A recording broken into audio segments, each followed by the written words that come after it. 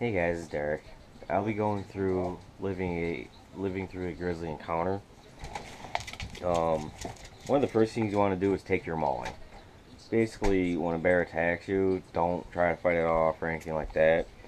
Um, the best thing you do is avoid injury or death by shielding yourself by fa laying face down.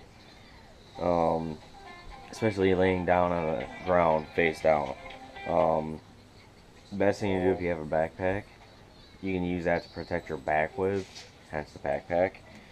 Um, and the best thing to do is cover your face and neck and play dead. They will lose interest and they will leave you alone, hence you living through a grizzly attack.